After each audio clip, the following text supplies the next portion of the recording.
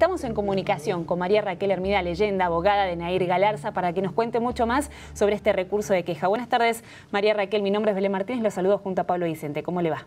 ¿Qué tal? Muy buenas tardes. Gracias por estar con nosotros. Cuéntenos. No, el gusto es mío. Cuéntenos un poquito más sobre este recurso de queja que presentaron ante la Corte Suprema. Bueno, eh, ¿qué significa la queja? La queja significa llegar en forma directa a la Corte Suprema de Justicia de la Nación. O sea, se salió ya del ámbito de Entre Ríos hacia el ámbito nacional. ¿Qué, ¿Qué significa el recurso? Es pedirle a la Corte que por favor revise toda la causa y que dictamine en forma diferente o que ordene un nuevo juicio para Nair Galarza. Ustedes me preguntarán en base a qué.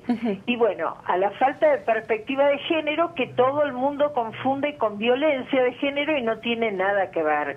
La perspectiva de género eh, significa ser tratados iguales en el proceso y en el caso de Nair Galarza se le prohibió producir muchísimas pruebas, por ejemplo, eh, una pericial psiquiátrica completa, una pericial psicológica completa, eh, las pericias de Fernando, las pericias relativas a las redes que Fernando eh, tenía. Y bueno, evidentemente hay una incompleta, no se conoce según el proceso, ni a Nair ni a Fernando, porque no se permitieron la introducción de muchas pruebas que eran valiosas, como por ejemplo saber si esa noche Fernando había tomado, si tenía, eh, si había, se había drogado, quién eh, llevaba de los dos el arma, eh, cosas que eh, faltaron analizar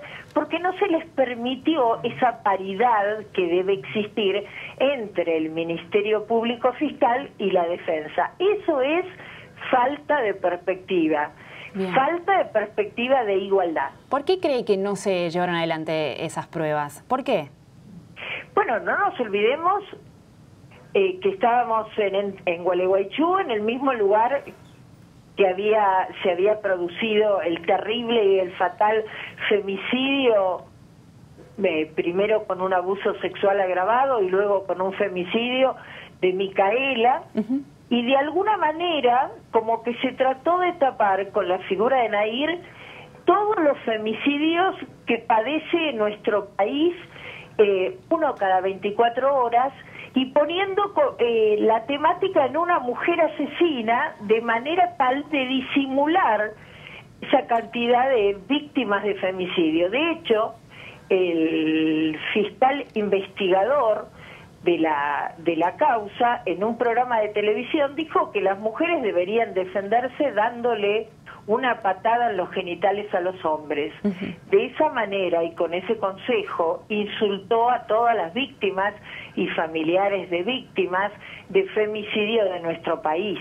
Es como que nos pretendía dar una clase de defensa personal cuando en realidad lo que necesitábamos de su parte como de todos los ministerios públicos, es una defensa jurídica, ¿no? Del agresor, del, violento y del femicida. Bien, eh, María Raquel, con respecto a lo que nos está contando, faltan poco menos de dos meses para que se cumplan tres años de este episodio, de este hecho. Y con respecto a lo que es la perspectiva, en tres años cambió mucho lo que es la mirada de los medios, de la gente, se fue dando cuenta de que existían este tipo de respuestas que recién nos estaba contando, como si fuera una recomendación, algo ilógico, de parte de un referente que debe impartir justicia. ¿Falta todavía ese cambio en la justicia? Yo creo que sí, que hay sectores de la justicia que todavía no están preparados ni a la altura de las circunstancias, pero que por supuesto hay eh, ya numerosos cambios a nivel nacional y a nivel provincia de Buenos Aires que han sentado jurisprudencia y que yo digo, bueno, cada vez que nos alejamos más es más difícil que llegue, ¿no? Pero en diferentes provincias hubo casos que marcaron perspectiva y cuando no la hubo, por ejemplo en el caso de Neuquén, en un caso muy famoso de una niña que no había sido escuchada en la Cámara Gesell, la Corte Suprema los devuelve a juzgar como se debe. Igual que en el caso de Lucía Pérez, que la, la Cámara de Casación de La Plata le dice a Mar del Plata, muchachos, vuelvan a juzgar porque acá no hubo perspectiva y está todo mal hecho. O sea, eh, recordemos que Lucía Pérez fue aquella eh, terrible jovencita que se había dicho empalada por un grupo de hombres y que no fueron condenados por femicidio. Quiere decir que hay un sector importante, eh, a nivel nacional los hay también, por supuesto, y está la Corte para decirlo, eh, que dicen, bueno, juzguen como se debe otorguen las mismas herramientas. Acá no estamos gritando libertad, libertad, ni, ni absolución, absolución. Nosotros estamos pidiendo un juicio justo y que a través de un juicio justo se conozca la verdad. Por ejemplo, es importante decirles que yo, como espectadora también de los medios de comunicación, compré una construcción de Nair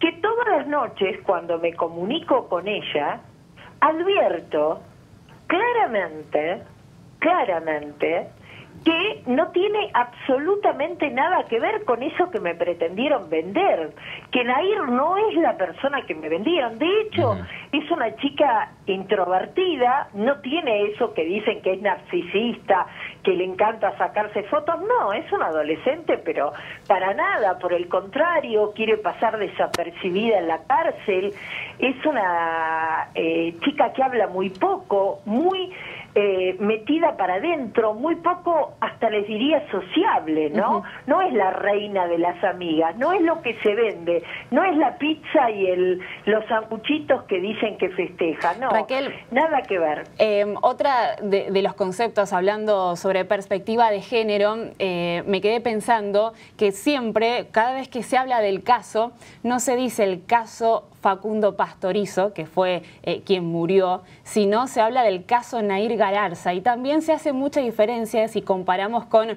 otros casos de crímenes, que nunca se habla como el caso de cuando hablamos del asesino o asesina, sino el caso de la víctima. Eh, eh, también hay una diferencia en ese sentido, al menos cuando se nombra eh, el caso Nair Galarza se dice de esa manera. abogada, también le preguntamos, una vez que ya presentó este recurso de queja, ¿cómo continúa la causa? ¿Cuáles son los plazos?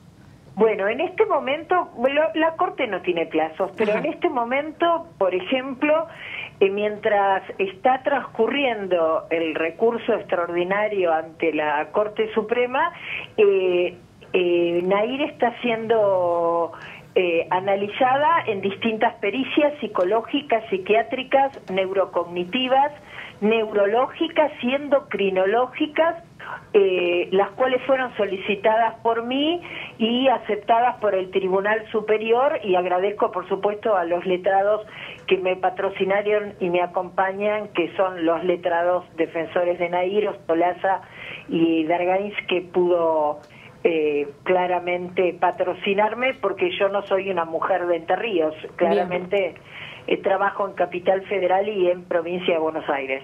Bien, perfecto, muy claro todo lo que nos contó, muchas gracias por su tiempo y aguardamos novedades al respecto, muy amable. Muchísimas gracias.